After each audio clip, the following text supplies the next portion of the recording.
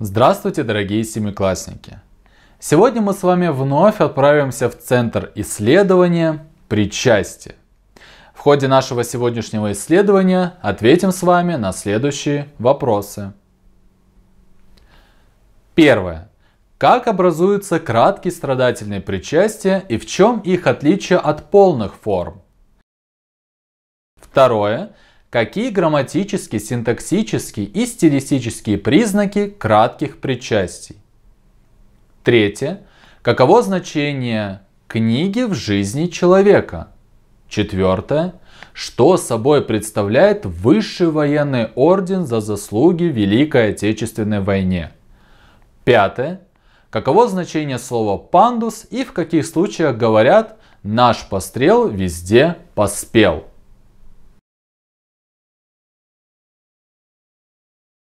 Начинаем мы с вами с традиционной рубрики «Слово дня». И сегодняшнее наше слово «пандус». Что же такое пандус? Внимание на экран.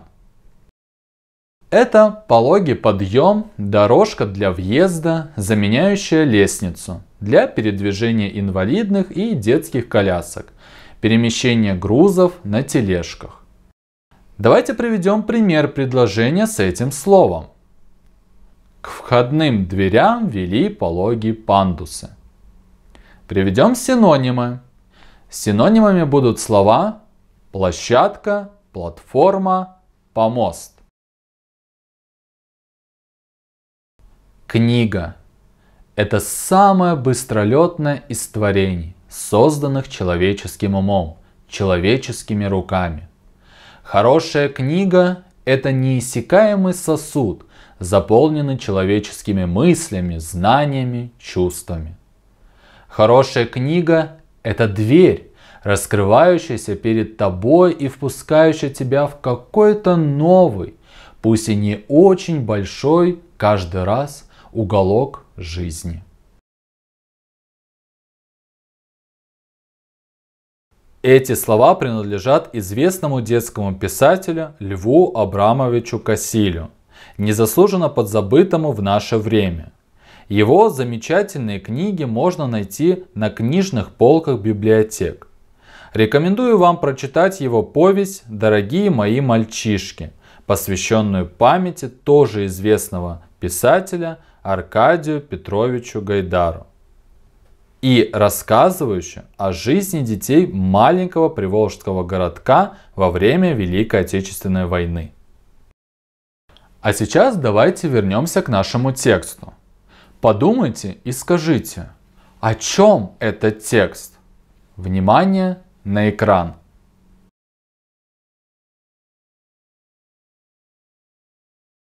Автор говорит о том, как велико значение книги в жизни человека. Подумайте, есть ли в этом тексте причастие? Да, есть. Найдите их, пожалуйста, в тексте и выпишите.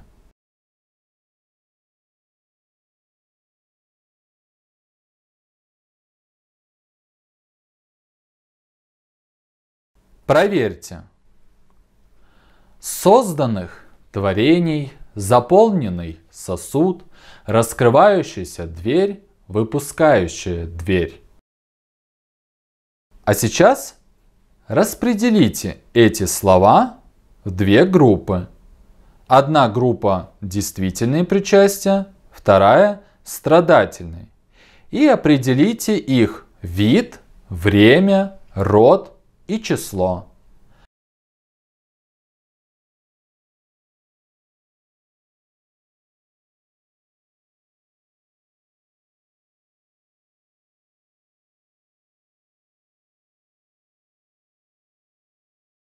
Давайте проверим. Действительное причастие. Раскрывающееся, выпускающее. Раскрывающееся. Несовершенный вид. Настоящее время. Женский род. Единственное число.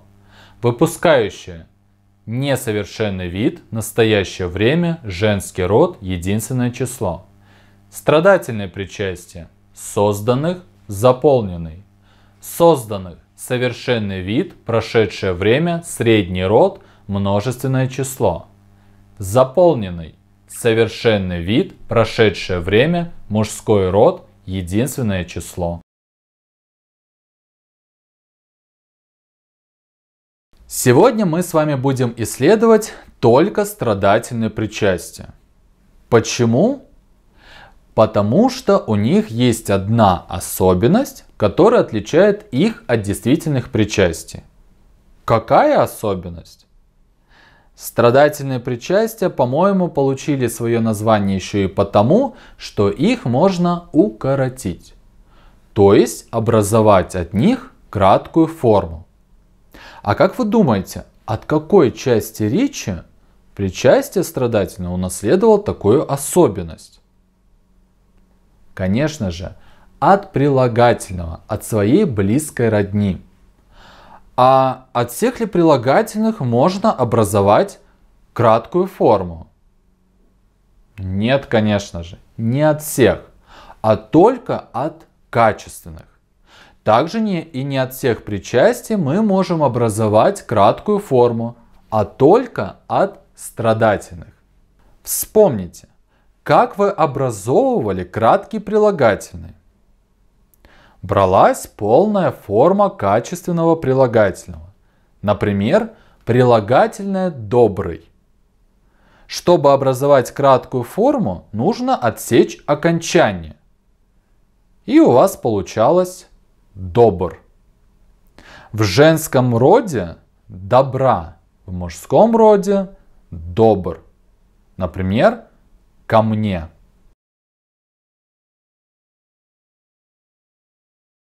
В среднем роде, например, это дело добро. Во множественном числе добры. Аналогично образуется и краткая форма страдательного причастия. А теперь образуем от полных страдательных причастий из текста краткую форму. Автором создан. Книга создана. Творение создано. Творения созданы. Дневник заполнен. Таблица заполнена. Личное дело заполнено. Журналы заполнены.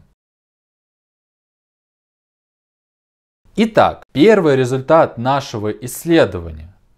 Страдательные причастия могут иметь как полную, так и краткую форму. Действительные причастия имеют только полную форму. Предлагаю закрепить наш результат упражнением из нового учебника. Объедините в пары слова из первого ряда и второго. Итак, все внимание на экран.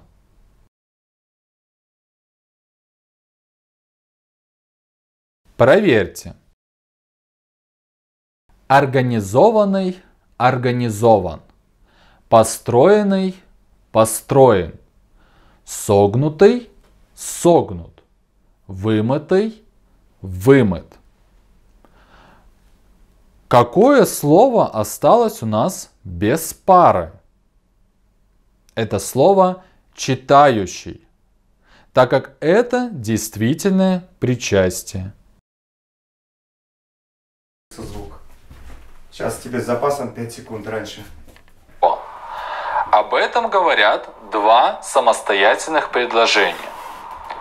Во втором случае автор тоже орден Победа высший военный орден, а учрежденный в 1943 году дополнительная информация. Такая же речевая ситуация и во втором и третьем предложениях. Послушайте. Круг в середине звезды покрыт голубой эмалью. В центре его изображена Кремлевская стена с мавзолеем и Спасской башней.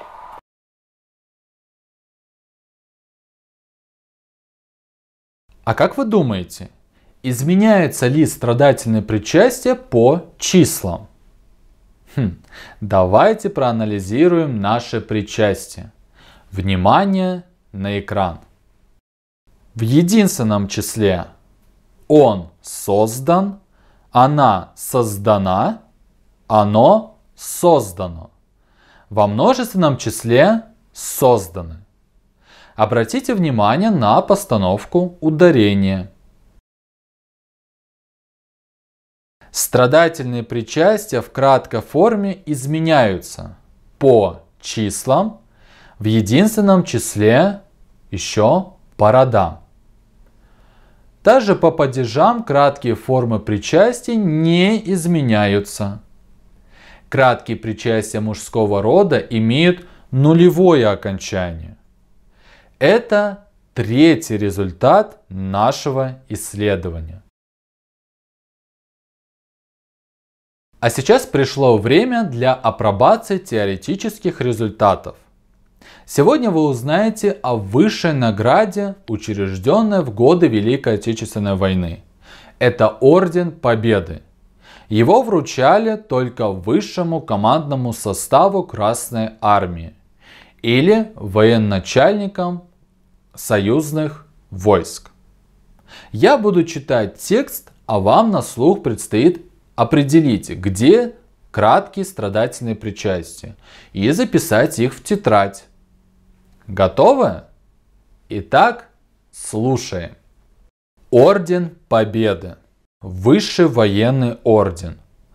Он был учрежден в 1943 году, когда до победы было еще далеко. Орден представляет собой выпуклую пятиконечную звезду, по краям которой закреплены бриллианты. Круг в середине звезды покрыт голубой эмалью. В центре его изображена Кремлевская стена с мавзолеем и Спасской башней. Эти изображения сделаны из золота, а над ними помещена надпись СССР выполнена белой эмалью. Круг с изображениями окаймлен лавровой и дубовой ветвями. В нижней части круга написано белыми эмалевыми буквами «Победа». За время Великой Отечественной войны этим орденом было награждено 19 человек. Орден Победа за номером 1 был вручен маршалу Советского Союза Георгию Жукову. А теперь сравните свою запись с моей. Учрежден, закреплены, покрыт, изображена, сделаны, помещена, окаймлен, написано, награждено, вручен. Давайте рассмотрим текст. Каким членом предложения являются краткие причастия? Сказуемыми. На что еще вы обратили внимание? Некоторые краткие причастия для указания на прошедшее время сочетаются с глаголом связкой «быть».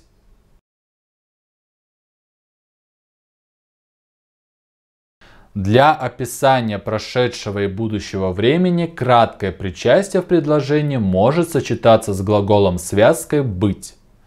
Например, «был учрежден», «будет награждено».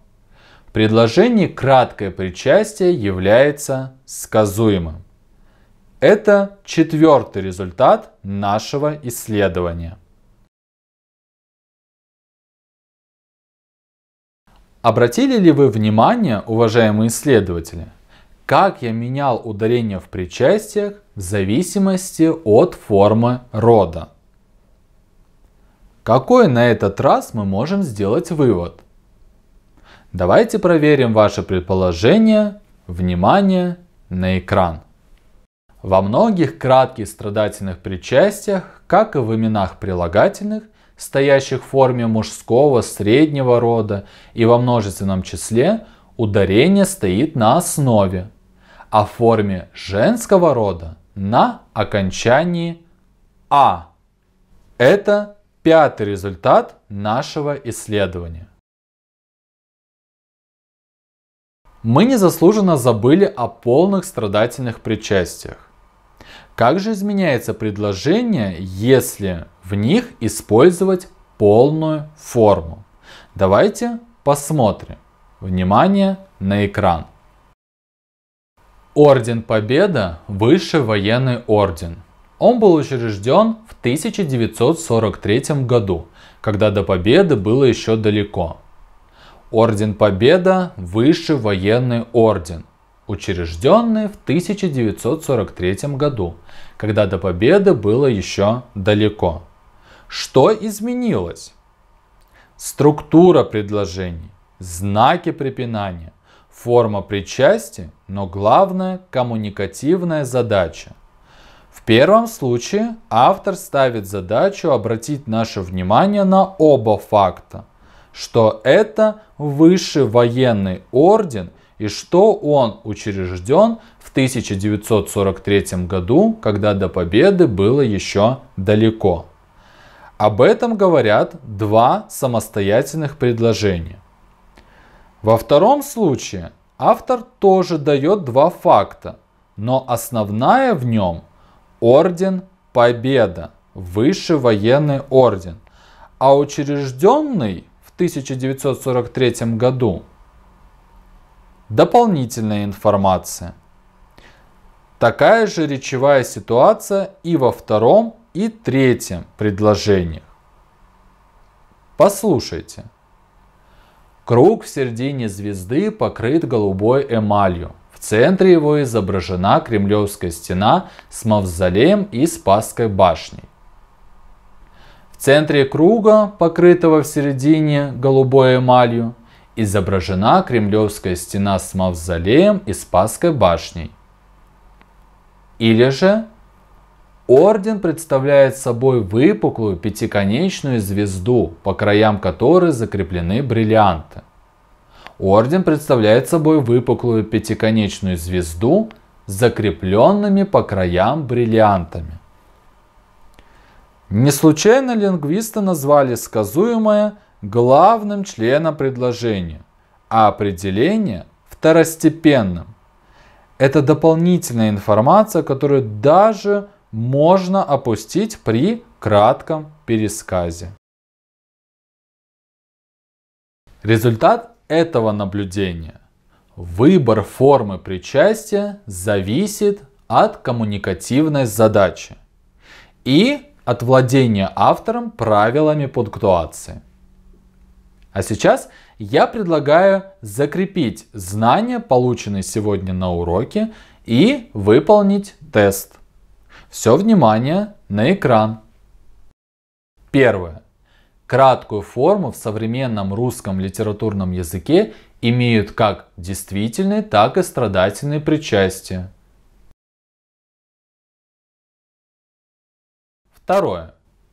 Выберите краткие страдательные причастия. Третье. Выберите предложение, в котором сказуемое выражено краткой формой страдательного причастия.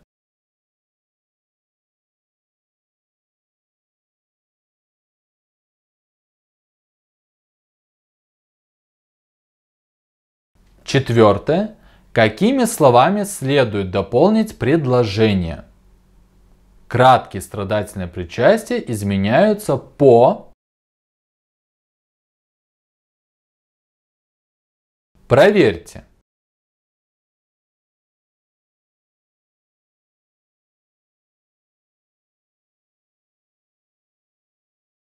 Итак, пришло время подвести итоги нашего исследования. Что сегодня мы с вами выяснили? Давайте сделаем выводы. Внимание на экран. Страдательные причастия могут иметь как полную, так и краткую форму. Действительные причастия имеют только полную форму. В суффиксах кратких страдательных причастий пишется одна «н». Полные и краткие причастия изменяются по числам, а в единственном числе еще и по родам. В отличие от полных, Краткие причастия по падежам не изменяются. Для описания прошедшего и будущего времени краткое причастие в предложении может сочетаться с глаголом связкой «быть». В форме мужского среднего рода и во множественном числе ударение стоит на основе, а в форме женского на окончании «а».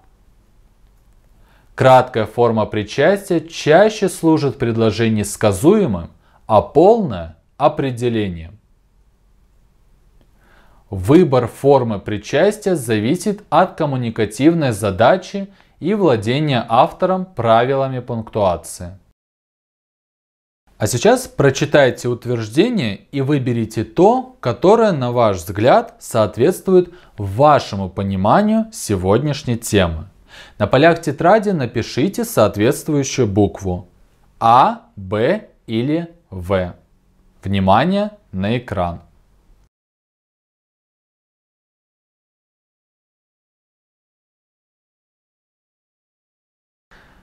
Ну а теперь запишите домашнее задание.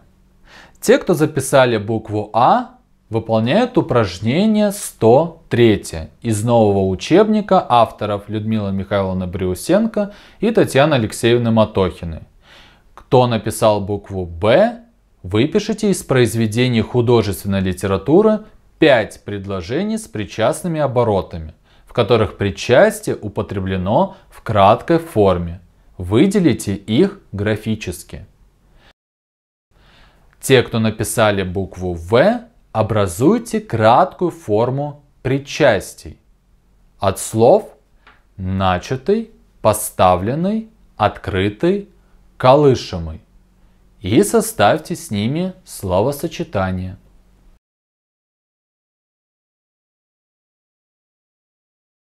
Перед тем, как закончить наш сегодняшний урок, обратимся к традиционной и любимой рубрике «Тайны русского языка». И сегодня у нас с вами пословица «Наш пострел везде поспел».